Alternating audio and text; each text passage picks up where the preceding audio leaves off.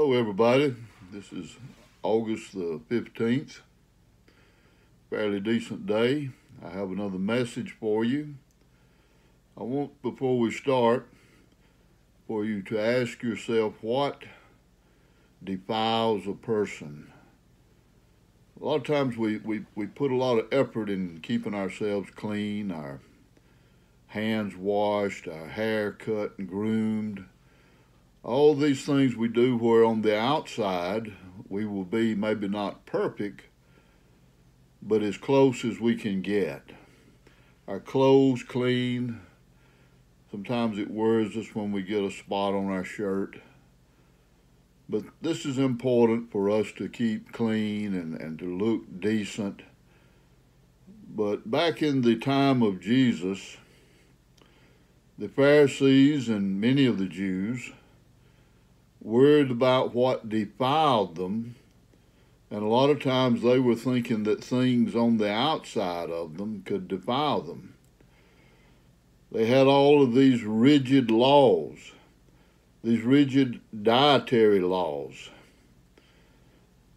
They didn't eat this, they could eat this. They had a long list of foods that they could eat or not eat. And today we call that being kosher. You go to some of the larger supermarkets and you'll find several shelves of kosher food.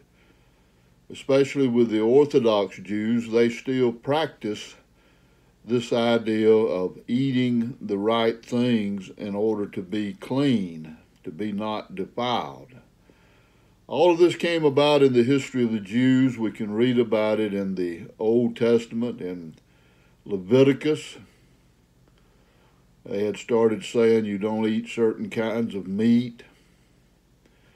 It would not certainly not be kosher, and it would not be nice if you handed a Jew a jar of pickled pig feet. That would just really upset them.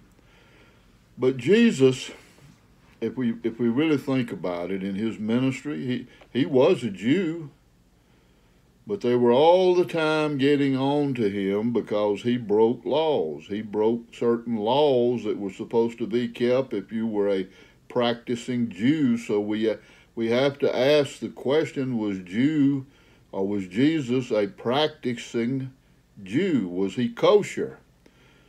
So the scriptures today that come from Matthew 15th chapter, beginning with verse 10.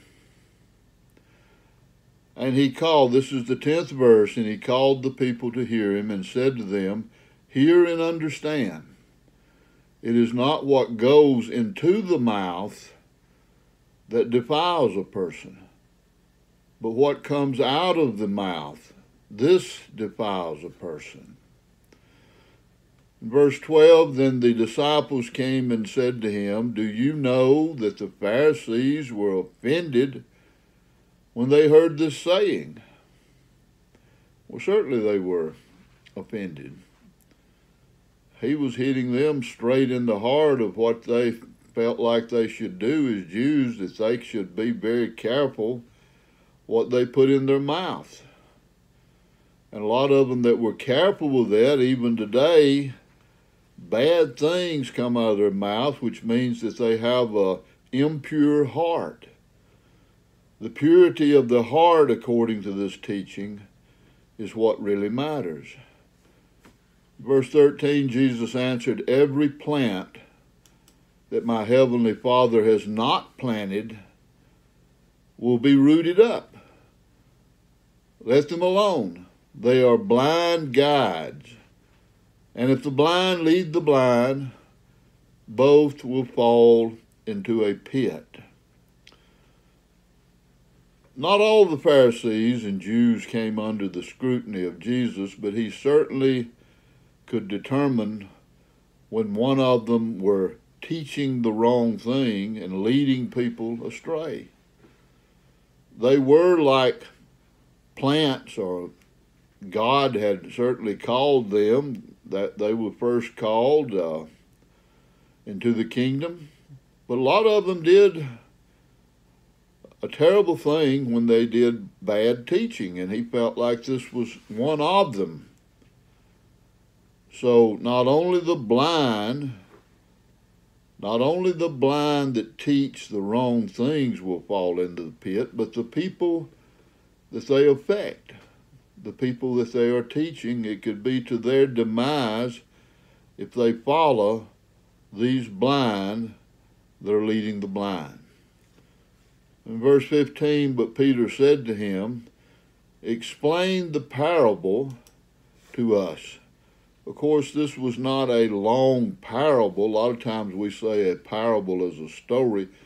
This is not a story, but you can use when you define what a parable is. Sometimes Jesus had these small, these very small, very short sayings that were so deep that taught things so deeply to us. And Jesus says, and he said, Are you also still without understanding? Do you not see that whatever goes into the mouth passes into the stomach and is expelled? Verse 18, but what comes out of the mouth proceeds from the heart and this defiles a person. For out of the heart come evil thoughts, murder, adultery, sexual immorality, theft, false witness, slander. These are what defile a person. But to eat with unwashed hands does not defile anyone. So Jesus was getting this right on. From the heart, what kind of shape with our heart is in, how we love people or not love people, how we are envious of people, or maybe when we're not envious of people, all of these things arise in the heart, not the physical heart that pumps blood for our body's use, but the spiritual heart, that central part of us, that central part of who we really are, that place where God lives, that place where God created us.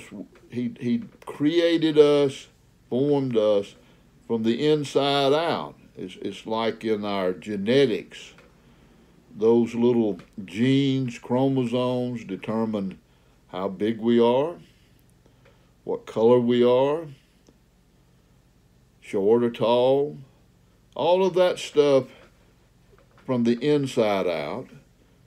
And then that part of us, as we're formed and we live our life, that part of us that makes us who we are. And if that is defiled, everybody knows it because they hear us talk.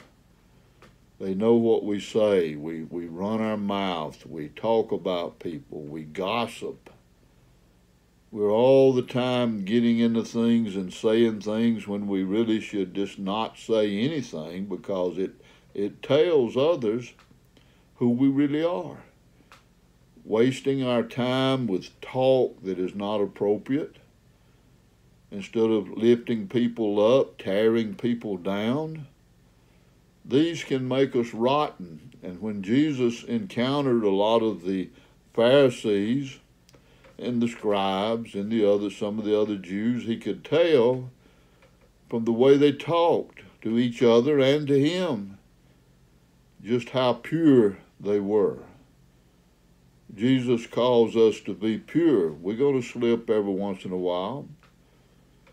Sometimes you might hit your finger with a, hit your thumb with a hammer. You might say a little something, but the main thing is if we're bitter with each other, if we slander each other, if we lie about each other, there are so many good things to talk about, but a lot of people get caught up in this talking nasty telling jokes, telling bad jokes, a little simple funny story, that may be okay, but still we're don't we have better things to talk about? And, and like I said, anybody, once they hear us talking, can tell who we really are and what we really are. You meet a stranger, you go somewhere, and you meet somebody, and just looking at the outside of them, they might be well dressed, they might be handsome or beautiful, they might have their hair just right. They may be showing that outward look of even being holy. I mean, we, we go to church on Sunday, we try to look our, our best. We like to dress up. We like to sit there and sing the beautiful hymns. And we and the ones that's watching them and listening to them sing, they said, "Oh, this is a righteous person. This is a really Christian person. But then when church is over, you get back out into the world, you go to work or you go to school, or even you talk in your family. You can be so unclean. You can be so nasty and bitter. We condemn each other. We talk about each other. We don't have anything good to say about each other, and we've just wiped out that, that Sunday of being pious. All of us make that mistake, and we should be careful.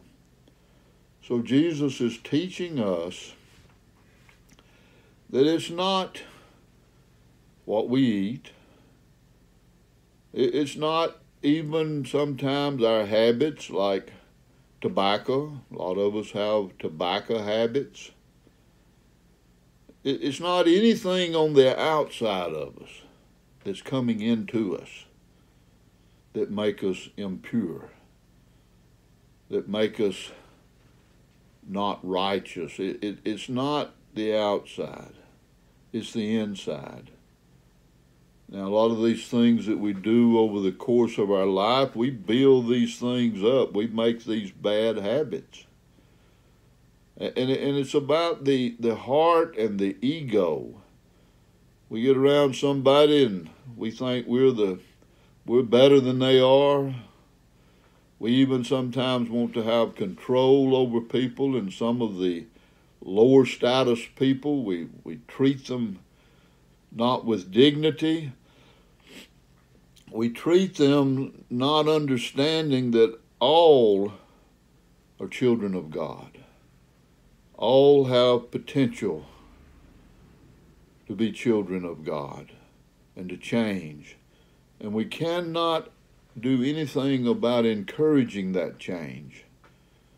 That's, that's how we really other than reading scriptures or telling people about scriptures, sometimes we can tell the gospel by keeping our language right, by being an example to other people, showing them that we truly are children of God. So bear this in mind in the coming days.